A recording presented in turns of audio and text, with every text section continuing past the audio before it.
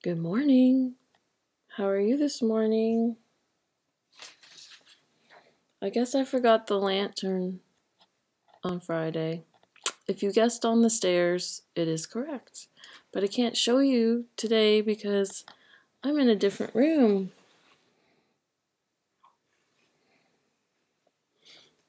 This is my upstairs room. So Connor came home on the weekend, so I moved my school stuff and my sewing stuff upstairs. How are you today? If you could pick a color, what color would you pick? I think I would pick blue today. And how are you feeling? I'm feeling a little bit silly. Did you notice something? Well, we were given an e uh, received an email this morning about theme days. So today's theme is Crazy Hair Day. What do you think? Do you like it? Should I keep this hairdo? I don't know. it's pretty silly. What's the day today? If we were at school, it would be uh, Monday. Oh, I said it. I was going to say Monday night football. Sorry, it is Monday. And what is the day, the number of our day? Right there. 27. So it is, it's the football Monday. And it's the 27th. And what month? January, February, March, and April. And the year 2020. Yeah. And what's the weather like today? If I look on my phone,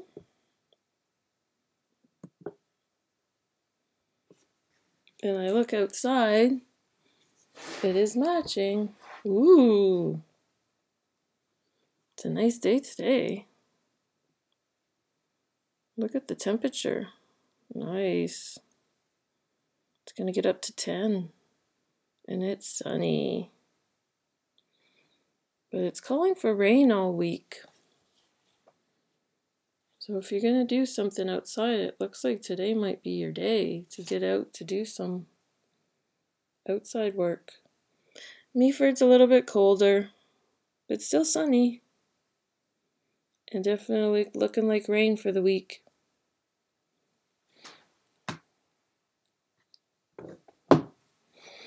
Okay, in our news, Trudeau has introduced the wage subsidy program for businesses and the applications open today.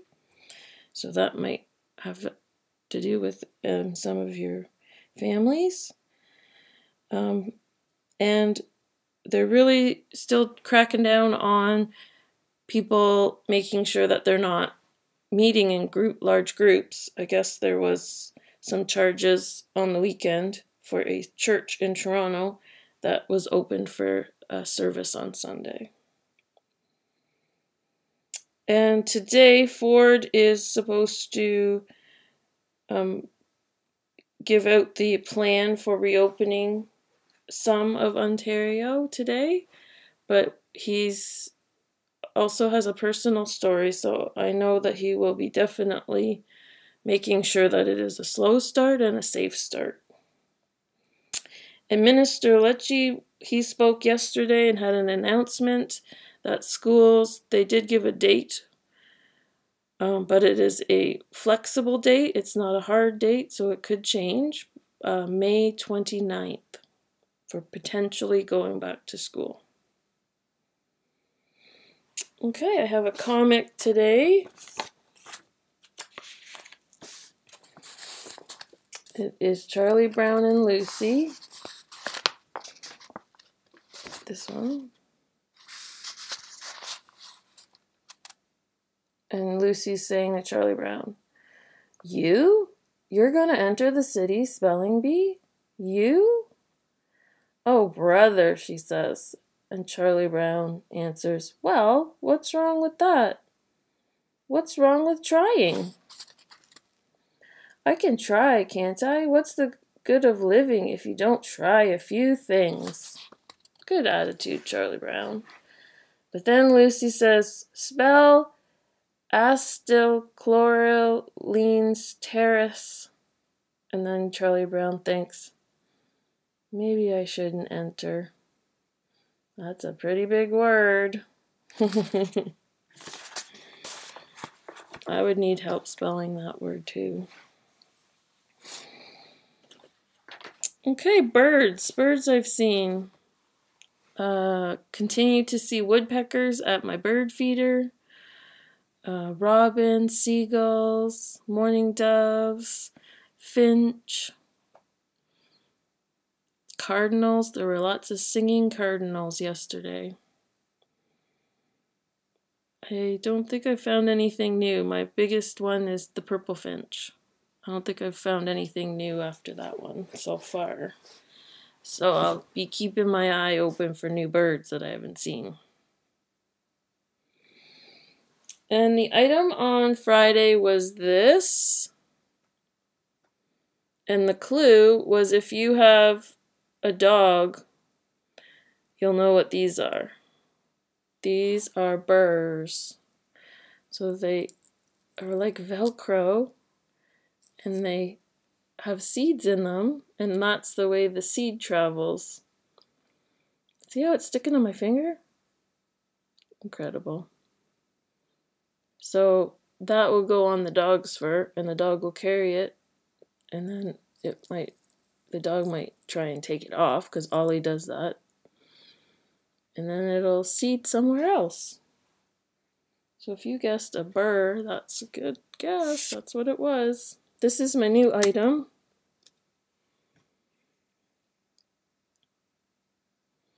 Do you know what that is?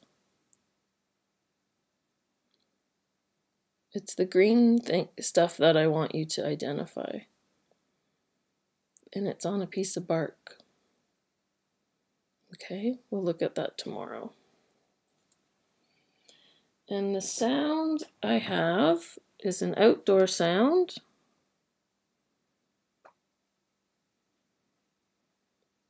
Are you ready?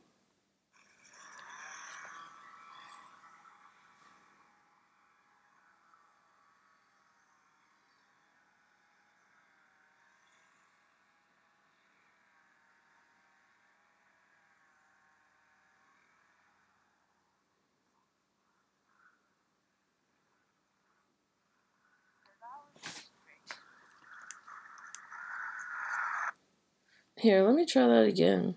I didn't have the volume very high.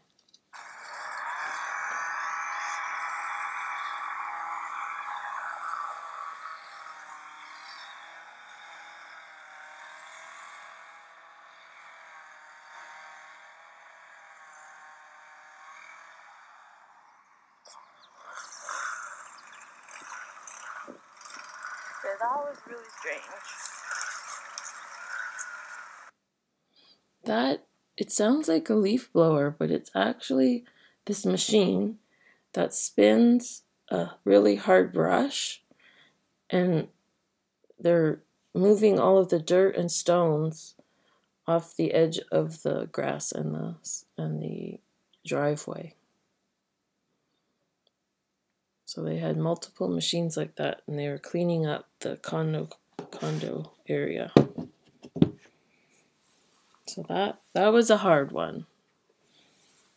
But I thought it was kind of neat. I'd never seen a machine like that before. I just wanted to mention that Connor and I and Rubiel played um, the Castles game. And the first game I won. And I won because I threw one of the lids and it got into the special thin plastic one. And when you do that, you win the whole game. I had a CAS to spell castles, but then I got that shot. It actually was on the edge, and then my next shot hit it into it. So it was pretty fun. the boys, I think, were surprised how fun it was. So I don't know if you'll get a chance to make that castles game. It's pretty simple and it's very inexpensive and it's a whole game that the whole family can play. I don't know if anyone got to see the Canadian concert last night, Strong Together, but um, I'm gonna Google some of some of it. I saw the end of it, but I didn't get to see the whole thing, and I really wanted to. But um, we had a birthday dinner for Max, and then um, we took Ollie for her walk, and by the time we got back, it was just the end that I got to see. But I did get to see that last song, and it was really amazing. I liked to see Bryan Adams. He was he was one of my favorites in grade 8. Today we're going to talk about an animal at the zoo, the Toronto Zoo, and it's in the animal and plants category and then Africa. And it's called the Meller's Chameleon. And this is what it looks like.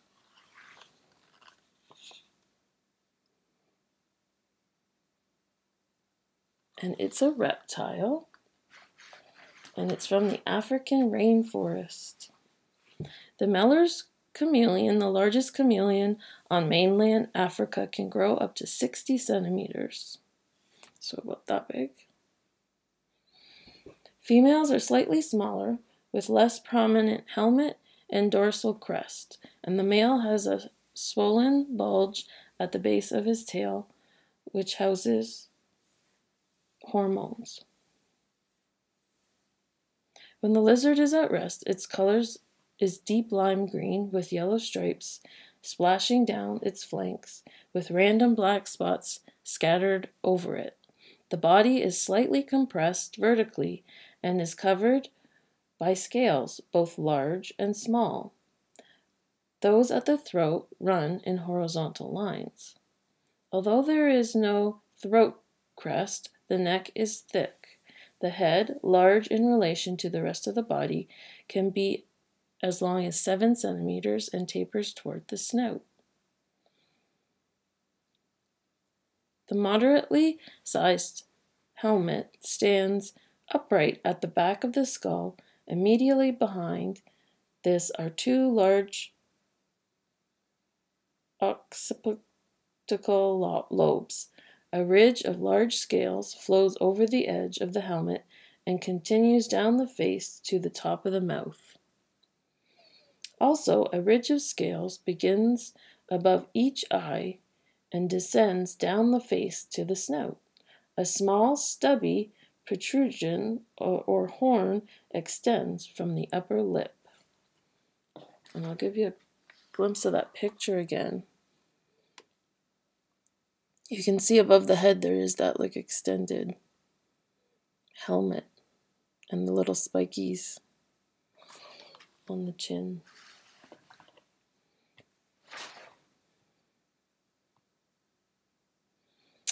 Uh, the lizards are found on tropical grasslands and in the treetops of bushland savannas. The diet, because Meller's newborns are big relative to other chameleon species, they progress to eating large prey quickly. Hatchlings begin to eat small insects, flies, bugs, and worms. As adults, they consume locusts, cockroaches, spiders, small lizards, and hatchling birds. Anything that moves is the right size. The lizard is also known as the bird eating chameleon. They are carnivores. So there you go. I was can't seem to find where they if they change colors. Here. Survival. Meller's chameleon has adapted to a very specific environment niche and cannot respond to change or move away quickly. Human activity is encroaching upon its habitat, altering and degrading it. Because of its large size and handsome appearance, although it is illegal to do so, the pet trade seeks out this species. However, it is extremely susceptible to stress and may not survive being transported. So it still doesn't say if it can change its colors, but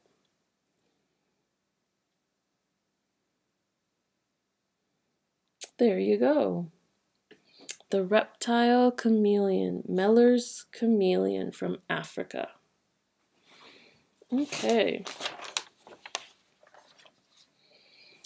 So today is going to be a sun salutation, but unfortunately I've hurt my knee, so I'm just going to do it sitting on the bed and see how it goes.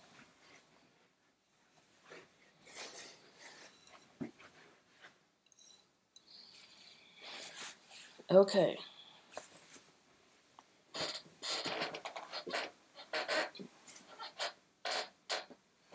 Hmm. Take a deep breath in.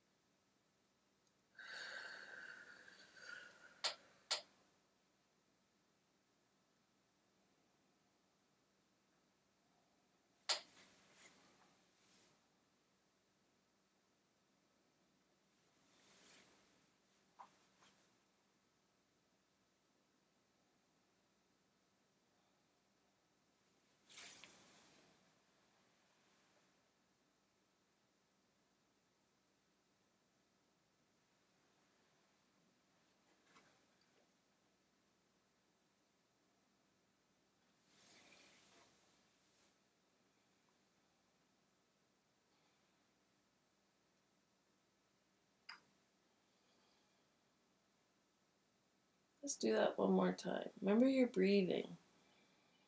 So what I've done differently is instead of doing that stretch like a runner stretch, I'm sticking out my leg and touching my toes.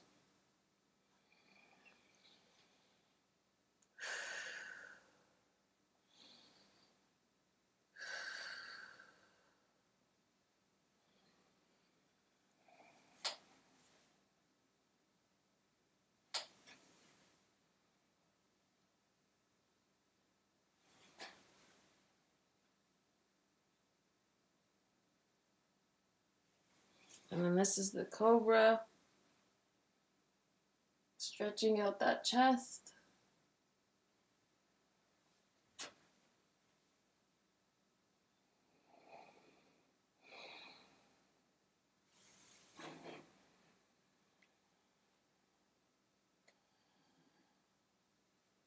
Oh, go all the way back.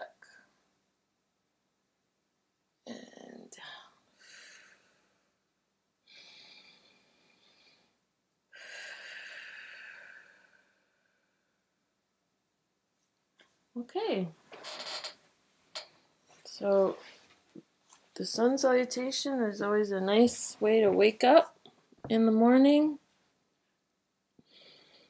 And as I said, I'm not able to do it because I can't bend my knee very well. This morning, an old basketball injury.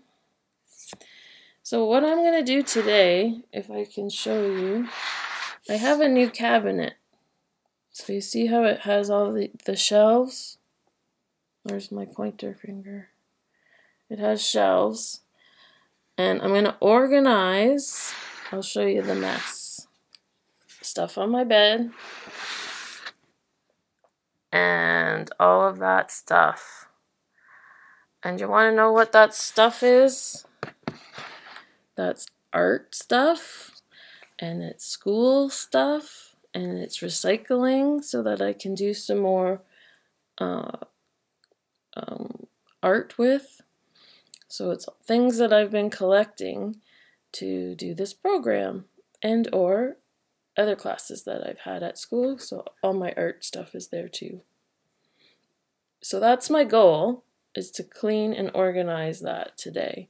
So I'll show you tomorrow what it looks like. Okay, I think that's everything on the list. Oh, did you see the lantern? Right there. on my door handle.